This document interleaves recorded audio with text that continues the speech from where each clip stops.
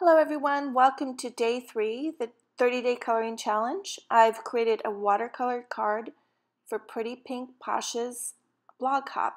That is tomorrow. A little confusing there, but there's more information on my blog. And I've divided this card into two parts. Um, it's hard to condense a project like this into one video. It's already 16 minutes long. So I've sped it up a little bit um, because it's pretty basic. Right now I am just putting down a wash, which is I've taken some color, added water, and I'm just putting a wash on that butterfly. That's how I want to start. Now it's a little bit more color than I wanted, so I'm dabbing some of that off. I really wanted like a pastel um, butterfly. So I'm that's the great thing about watercolors. You can wet it and remove some colors. So now I'm adding more water so that the colors will move around and kind of do the work for me. I am no artist by any means. I I guess I'm a colorist because I like to color and but I'm by far from an expert. Um, so right now I have a very fine tip watercolor brush and I have a very dark color and I'm just adding it in the crevices and along the edge. And then I'm going to go ahead and add some water to that. I always like to add the darker color first and see how it moves around adding the right amount of water so that their colors move kind of naturally is kind of a trick. And it's nothing I've mastered, but it's fun to experiment and play with. So I'm adding a little bit more color here and down by the center of the butterfly. On day one, I don't know if you saw, but I did a shaped card with the same butterfly using some Copic markers. It's an entirely different look. I love this butterfly and it has so many uses, so I decided to use it for two videos. It's, it's also a great butterfly to practice watercoloring on. In part one, I mentioned, but I'm just going to remind you again that for this particular card, I used embossing paste, some clear embossing paste, and heated it up.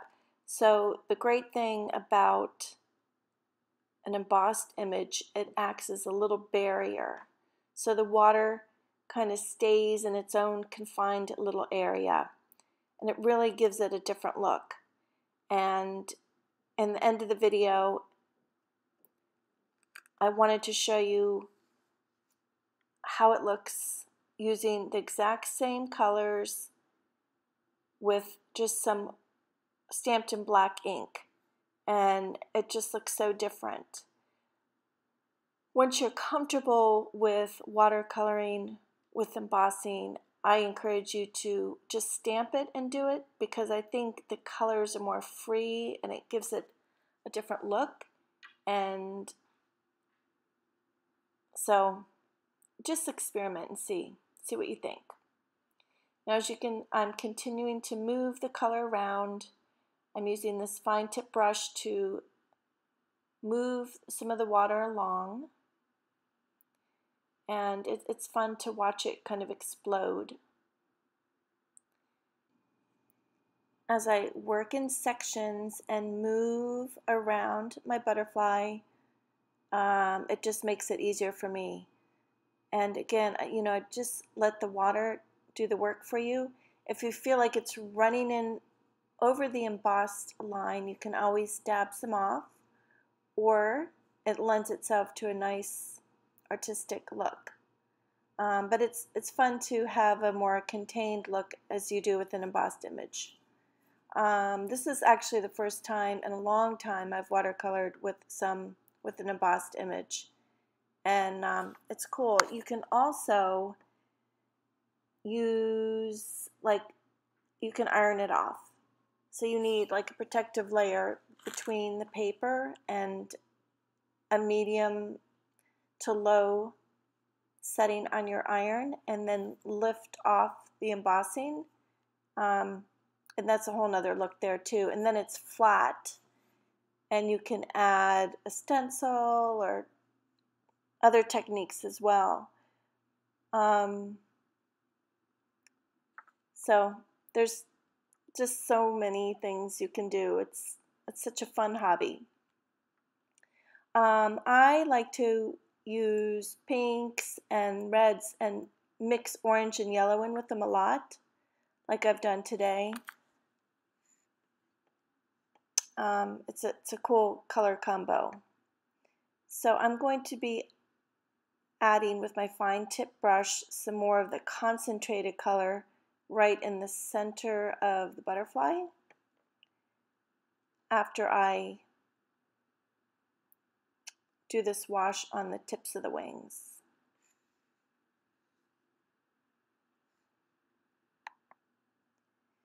I hope you don't mind. I'm going to speed this up faster now because you're going to get tired of me talking and it'll shorten the video. So I like to dry it sometimes in between, as you saw. Now here goes the concentrated color.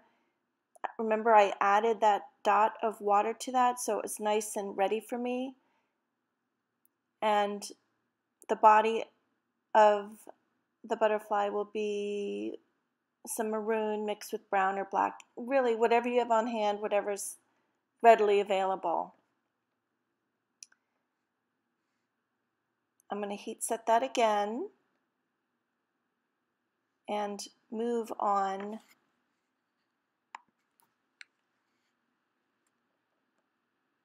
After I dry my paper I like to mold it play with it and it kind of straightens it out. And I when I dry it I dry it from the front and from the back and mess around with it and it doesn't really it corrects any warping that I might have Plus, when I use the foam tape on the back, that also makes it pretty flat.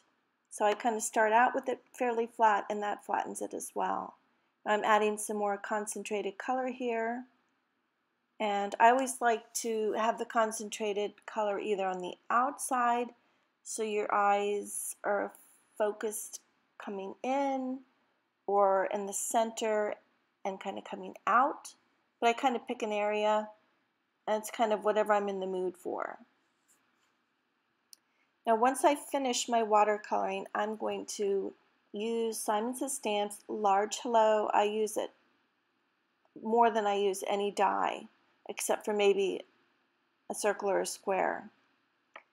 And while I tiptoe around this butterfly, I'm just going to tell you about the die cut. I love putting a large die cut over something like this and cutting right into your image.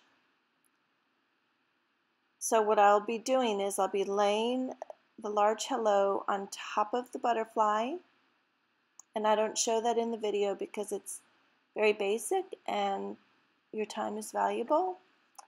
So I lay it on top of the butterfly and then I die cut it four other times and I glue them together and then I glue it on top of my card. And it really makes any artwork that you've done really exceptional.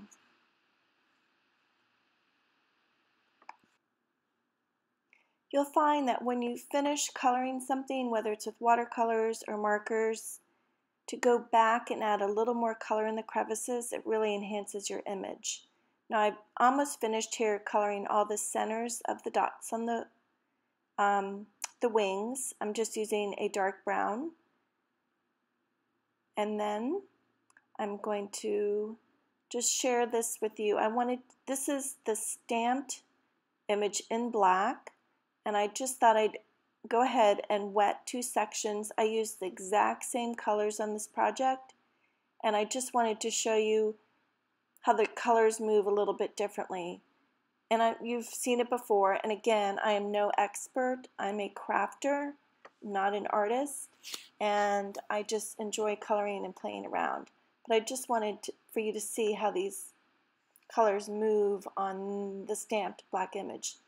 There's no heat embossing on this, so it moves around differently. Um, sometimes it almost gives you, depending on the amount of water that you have, like a tie-dye effect. And if you feel like you're going over the lines and you don't want that kind of look, just grab your napkin or towel and blot some off.